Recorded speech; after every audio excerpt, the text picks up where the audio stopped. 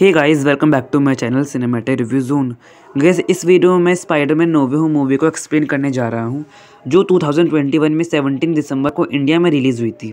अब में से काफ़ी लोगों ने इस मूवी को देख लिया होगा, या नहीं भी देखा है, और आप स्पॉयलर से दूर रहना चाहते हैं तो आप इस वीडियो को क्विट कर सकते हैं। लेकिन आप तब भी इस वीडियो को देखना चाहते हैं तो चलिए कंटिन्यू करते हैं। तो movie Spiderman far from home के पोस्ट क्रेडिट सीन के बाद से कंटिन्यू करती है, जहाँ मिस्टीरियो ने स्पाइडरमैन की आइडेंटिटी सबके सामने रिवील कर दी थी और जे जोना जेमसन ने भी इसमें कोई कसर नहीं छोड़ी थी। सब लोग पीटर पार्कर को एक क्रिमिनल की नज़र से देख रहे होते हैं।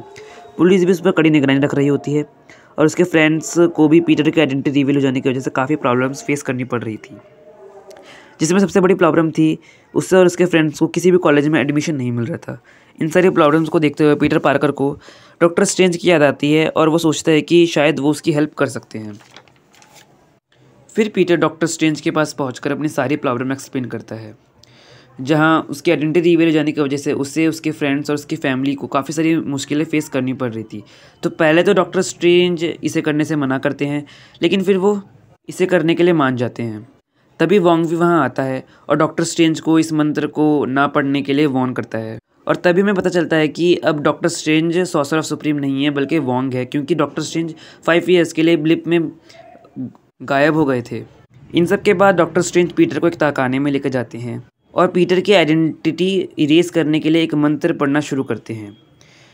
फिर पीटर डॉक्टर स्ट्रेंज से नेड एमजे और आंट में को इस मंत्र से रिमूव करने के लिए कहता है। जहाँ डॉक्टर स्ट्रेंज पूरी मेहनत से इस मंत्र को पढ़ रहे थे, उन्हें बीच में नेड एमजे और आंट मे को इसमें से रिमूव करना पड़ता है। उसके बाद पीटर को हैप्पी की याद आती है और डॉक्टर स्ट्रेंज से कहते हैं कि, प्लीज़ हैप्पी को भी इस मंत्र से रिमूव कर दीजिए।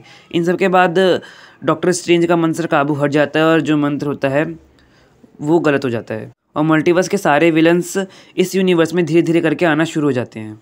इसका अभी पीटर को पता तो नहीं होता है, लेकिन उसे और उसके फ्रेंड्स को उसे एमआईटी में एडमिशन दिलाना होता है और वो इसीलिए एमआईटी के हेड के पास जाता है।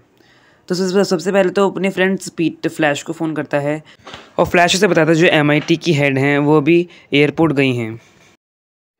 फिर पीटर एमआईटी की हेड को बीच ट्रैफ़िक में ढूंढकर उन्हें अपनी बात कन्विंस करवाने के लिए पूरी कोशिश कर रहा होता है। तभी बीच में डॉक्टर ऑटो ऑक्टेवियस की एंट्री होती है। पीटर और डॉक्टर ऑटो ऑक्टेवियस के बीच काफ़ी अच्छी फाइट चलती है, जहाँ पीटर तो कुछ समझ नहीं पाता है कि ये उस पर हमला क्यों कर रहे हैं, लेकिन तब भी एक अच्छी फाइट चलती है, जहाँ ऑटो ऑक्टेवियस की टेंटिकल्स पर स्पाइडरमैन के सूट के कुछ नैनो पार्टिकल्स आ जाते हैं, जिसकी वजह से उनके टेंटिकल्स स्पाइडरमैन के कंट्रोल में आ जाते हैं। तभी डॉक्टर स्ट्रेंज अपने मैजिक का यूज़ करके डॉक्टर ऑटो ऑक्टेवियस को एक मैजिकल जेल में बंद कर देते हैं, और पीटर को बताते हैं कि उस मंत्र के गलत हो जाने की वजह से सारे मल्टीवर्स के विलन धीरे धीरे करके इस यूनिवर्स में आने लगे हैं, जो पीटर पार्कर को जानते थे। फिर डॉक्टर स्ट्रेंज पूछते हैं, जहाँ तुमने किसी और विलन को भी देखा था? तो फिर तभी डॉक्टर ऑक्टोटेवस कहते हैं कि मैंने वहाँ पे ग्रीन गॉबलिन को देखा था। लेकिन डॉक्टर ऑक्टेवस कंफ्यूज थे क्योंकि ग्रीन गॉबलिन काफ़ी साल पहले मर चुका था। तो वो यहाँ क्या हो सकता है? उसके बाद डॉक्टर स्ट्रेंज बाकी विलन्स को भी पकड़ने के लिए पीटर को कहते हैं, ताकि वो उन्हें उनके यूनिवर्स में भेज सकें। पर पीटर ये सब अकेले नहीं कर सकता था, इसलिए वो अपनी मदद के लिए नेड और एमजे को पीटर बुला लेता है। फिर वो लोग रूम ऑफ़ कॉफ़ी खाना के अंदर बैठकर अपना काम शुरू करते हैं। यानी मल्टीवर्स से आए विलन्स को पकड़ने का। पर कुछ लोग जो स्पाइडरमैन के हेटर्स थे, उन्होंने उसके सूट पर एक ग्रीन कलर का लिक्विड फेंक दिया था, जिसकी वजह से उसका सूट काफ़ी ज़्यादा गंदा हो चुका था। पीटर अपने सूट को धोने के लिए आंट मे को भी कॉल करता है, लेकिन उसका सूट नहीं धुल पाता है। इसलिए वो अपने सूट को उल्टा करके पहन लेता है। और मल्टीवर्स से आए सारे विलन को पकड़ने के लिए निकल पड़ता है। जहाँ वो सबसे पहले एक ऐसे जंगल में पहुँचता जहाँ इलेक्ट्रो था और वह स्पाइडरमैन को देखते ही उस पर हमला करना शुरू कर देता है। जहाँ उसकी मदद करने के लिए स्पाइडरमैन थ्री मूवी से आ जाता है सैंडमैन सैंडमैन पीटर से कहता है कि मैं यहाँ क्या कर रहा हूँ और ये तुम पे हमला क्यों कर जा रहा है? तो पीटर बताता है कि मैं तुम्हें सब कुछ फुर्सत फुर्सत से बताऊँगा, लेकिन हमें पहले इसे रोकना पड़ेगा। जहाँ सैडमैन पहले इलेक्ट्रो को शांत करता है, फिर पीटर डॉक्टर स्ट्रेंज के दिए गए मेजिकल इक्विपमेंट से उसे भी एक मेजिकल जेल में बंद कर देता है। फिर वो सभी लोग रूम ऑफ़ काफ़ी खाना के अंदर डॉक्टर स्ट्रेंज से मिलते हैं। जहाँ डॉक्टर स्ट्रेंज ने डॉक्टर कर्ड कॉनर्स यानी लिजार्ड को भी स्पाइडरमैन, अमेजिंग स्पाइडरमैन टू से एक मैजिकल जेल के अंदर कैद कर रखा था। वो सारे विलन एक दूसरे को देखकर काफ़ी ज़्यादा कंफ्यूज हो जाते हैं। फिर इन सब के बाद हमें ग्रीन गॉबलिन यानी नॉर्मन ऑसबोन दिखाए जाते हैं, जो अपनी सेकेंड आइडेंटिटी से काफ़ी ज़्यादा परेशान हो गए थे। इसी वजह से वो अपना हेलमेट भी तोड़ देते हैं। क्योंकि वो दूसरे यूनिवर्स से आए थे, वो काफ़ी ज़्यादा कंफ्यूज थे और उन्हें दोबारा वहाँ जाना था तो फिर वो किसी और से हेल्प नहीं मांग सकते थे, इसलिए वो स्पाइडरमैन के घर पे पहुँच जाते हैं। जहाँ वो आंट में और पीटर से मिलते हैं। पीटर नॉर्मन ऑसबॉन से कहता है कि आप चिंता मत कीजिए, हम आपको आपके यूनिवर्स में भेज देंगे। लेकिन उसके लिए आपको हमारे साथ चलना पड़ेगा। फिर पीटर नॉर्मन ऑसबॉन यानी ग्रीन गॉबलिन को रूम ऑफ़ काफ़ी खाना के अंदर लेकर आता है, जहाँ डॉक्टर ऑटोक टेविस कहते हैं, तुम तो काफ़ी सारे पहले मर चुके थे फिर तुम यहाँ क्या कर रहे हो? यहाँ पर ये सारी बातें चली रही थी, फिर उन सब विलन को आपस में पता चलता है कि वो जब अपने यूनिवर्स में मरने वाले थे, तभी वो यहाँ पर टेलीपोर्ट होकर आ गए हैं। और वो अगर दोबारा अपने यूनिवर्स में जाते हैं तो उनकी दोबारा मौत हो जाएगी। पीटर ये नहीं चाहता था कि उनकी, उनके यूनिवर्स में जाते ही डेथ हो जाए, इस वजह से वो डॉक्टर स्ट्रेंज को उनका मंत्र पढ़ने से रोक देता है। और इसीलिए पीटर पार्कर और डॉक्टर स्ट्रेंज के बीच में काफ़ी एक अच्छी फाइट होती है, जहाँ डॉक्टर स्ट्रेंज पीटर को मेरे डायमेंशन में भी लेकर जाते हैं और वहाँ उनकी काफ़ी एक अच्छी फाइट होती है। तभी पीटर को पता चलता है कि जो पूरा मैप है जोमेट्रिकल है और पीटर को जोमेट्री बहुत ज़्यादा पसंद होती इसलिए वो सभी, वहाँ जितनी भी चीज़ें थी, उनका पीटर अच्छे से जोमेट्रिकल फॉर्म में यूज़ करके डॉक्टर स्ट्रेंज को हरा देता है। और एक बॉक्स जिसके अंदर मंत्र होता है, उसे अपने साथ लेकर वापस आ जाता है। और फिर उन सभी विलन से कहता है कि मैं तुम्हें बचाना चाहता हूँ तो मेरे साथ कॉपरेट करो और जब तुम अपने यूनिवर्स में जाओगे, तब सब कुछ अलग ही होगा। तुम एक नॉर्मल लाइफ जी पाओगे। तभी पीटर को याद आता है कि हैप्पी घर में एक ऐसी मशीन है जो सब कुछ बना सकती है। इसलिए पीटर उन सारे विलन्स को लेकर हैप्पी घर पहुँच जाता है। जहाँ सबसे पहले डॉक्टर ऑटोक टेवेस से स्टार्ट करता है। डॉक्टर ऑटोक टेवेस के सर के पीछे जो चिप थी, सबसे पहले वो उसे ठीक करता है, जो उनके टेंटेल्स को कंट्रोल किया करती थी। उसके बाद नंबर आता है इलेक्ट्रो का, जहाँ पीटर इलेक्ट्रो के लिए एक ऐसा डिवाइस बनाता है, जो उसकी अंदर की जितनी भी एनर्जी होती है कंज्यूम करके एक नॉर्मल ह्यूमन बना सके। लेकिन इन सभी के बीच में नॉर्मन ऑसबोन की दूसरी आइडेंटिटी सारे के किराए पे पानी फेर देती है। और नॉर्मन ऑसबोन इलेक्ट्रो से कहता है कि हम भगवान हैं, हमें किसी के सामने झुकने की ज़रूरत नहीं। और ये जो ताकतें हैं, ये हमारा खुशकिस्मती है नहीं कोई दर्द। इन सभी के बाद नॉर्मन ऑसबोन हैप्पी के अपार्टमेंट में एक बॉम्ब गिरा देता है, जिसकी वजह से वहाँ आंट मी की डेथ हो जाती है। इसके बाद सीन शिफ्ट होता है नेड और एमजे पर जिन लग रहा था कि पीटर को हमारी मदद की ज़रूरत है। इसलिए नेट डॉक्टर स्ट्रेंज की मैजिकल रिंग से जिससे वो पोर्टल्स खुला करते थे। उसे पहनकर स्पाइडरमैन को बुलाने की कोशिश करता है। तो जब नेट सबसे पहला पोर्टल खोलता है तो उसके अंदर अमेजिंग स्पाइडरमैन का पीटर पार्कर यानी एंड्रू गारफिट आ जाता है, जिसका सभी को इंतज़ार था।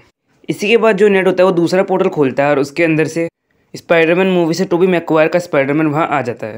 और उन दोनों स्पाइडरमैन के यूनिवर्स में आने का सीन सबसे ज़्यादा अच्छा था पूरी मूवी में, जहाँ वो दोनों पीटर पार्कर इस यूनिवर्स के पीटर पार्कर से मिलते हैं और उन सभी पाँचों के पाँचों विलन को ठीक करने के लिए विलन्स के लिए एंटीडोट बनाना शुरू करते हैं। और वो इस एंटीडोट को बनाने के लिए टोनी स्टार की एक मशीन का यूज़ करते हैं। सभी एंटीडोट बनने के बाद तीनों स्पाइडर में अपने काम पे लग जाते हैं। जहाँ वो डेली ब्यूगल को कॉन्टैक्ट करके सभी विलन्स को स्टैचू ऑफ़ लिबर्टी के एरिया में बुलाते हैं और अपना प्लान को करना शुरू करते हैं। तीनों स्पाइडरमैन एक करके अपने सभी विलन्स को ठीक करना शुरू कर देते हैं। तभी डॉक्टर स्ट्रेंज भी वहाँ पहुँचते हैं और नेड ने समझाता है कि पीटर अपने प्लान में सक्सेसफुल हो रहा है तो आप प्लीज़ उसे इंटरप्ट ना करें बीच में। फिर डॉक्टर स्ट्रेंज भी इस चीज़ को मान लेते हैं। सभी विलन्स को ठीक करने के बाद नॉर्मन ऑसबॉर्न की वहाँ एंट्री होती है, जहाँ टॉम हॉलैंड वाला पीटर पार्कर नॉर्मन ऑसबॉर्न को बहुत मारता है। लेकिन बीच में टोबी मैक्योर वाला स्पाइडरमैन आ जाता है और पीटर टॉम हॉलैंड वाले पीटर को करने से मना करता है। उसी बीच नॉर्मन ऑसबॉर्न टोबी मैकवार वाले पीटर को भी पीछे से एक चाकू भोग देता है, जिसकी वजह से टोबी मैकवार वाला पीटर पार्कर बहुत ज़्यादा इंजर्ड हो जाता है। इसी बीच टॉम हॉलैंड वाला पीटर पार्कर नॉर्मन ऑसबॉर्न के एंटीडोट का यूज़ करते हुए उसे नॉर्मल ह्यूमन बना देता है। इन सब के बाद डॉक्टर स्ट्रेंज की वहाँ आते हैं। और और पीटर से कहते हैं कि तुम्हारे विलन्स धीरे धीरे करके इस यूनिवर्स में आना स्टार्ट हो रहे हैं। तो पीटर कहता है कि अगर आप वही मंदिर दोबारा से पढ़े जिसकी वजह से सभी लोग मुझे भूल जाएँ, सभी सभी, इस बार कोई भी मुझे याद ना रखे तो इससे काम बन सकता है या नहीं? तो डॉक्टर सिंह कहते हैं हाँ काम बन जाएगा। फिर डॉक्टर सिंह अपना मंत्र पढ़ना स्टार्ट करते हैं। और सभी विलन्स और स्पाइडरमैन को अपने अपने यूनिवर्स में दोबारा भेज देते हैं। और इसी के बाद पीटर टॉम हॉलैंड के पीटर पार्कर की भी आइडेंटिटी पूरी दुनिया से इरेज हो जाती है। और सारा गेम वहीं फिनिश हो जाता है। फिर मूवी के एंड में पीटर अपने फ्रेंड नेड और एमजे के पास जाता है। जो कभी जानते थे कि वो हमारा फ्रेंड हुआ करता था, लेकिन अब उनके माइंड से उसकी सारी यादें इरेज हो चुकी थी। लेकिन एक अच्छी बात भी थी कि इन दोनों को एमआईटी के अंदर एडमिशन मिल चुका था। इसके बाद पीटर अपनी आंट की ग्रेव में जाता है। और वहीं उसे हैप्पी होगन भी मिलता है। और हैप्पी पूछता है कि तुम इन्हें कैसे जानते थे? फिर पीटर कहता है कि मैं इन्हें स्पाइडरमैन से जानता था।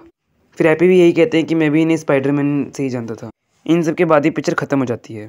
अब मूवी के अंदर टोटल दो पोस्ट क्रेडिट सीन जहाँ सबसे पहले पोस्ट क्रेडिट सीन के अंदर हमें एडी ब्रॉक का वैनम दिखाया जाता है, जो एक, बार में बैठकर जो भी कुछ पाँच साल पहले हुआ था कि सब लोग ब्लिप हो गए थे, उनकी जानकारी प्राप्त कर रहे होते हैं।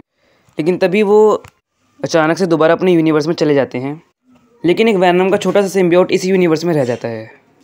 अब जो वैनम का यहाँ पे छोटा सा सिम्बियोट रह गया है, वो आने वाली स्पाइडरमैन मूवी के अंदर काफ़ी ज़्यादा बड़ा रोल प्ले करने वाला है। इसके बाद हमें पीटर पार्कर दिखाया जाता है, जो अपने नए सूट के साथ न्यूयॉर्क शहर के अंदर स्विंग करता है वो क्राइम से लड़ रहा होता है। इसके बाद हमें दूसरे पोस्ट क्रेडिट सीन के अंदर doctor Strange in the madness of the multiverse का टीज़र दिखाया जाता है, जो आप यूट्यूब पे भी अवेलेबल है। अब वहाँ से भी इसे देख सकते हो। तो बस पूरी मूवी यहीं ख़त्म हो जाती है।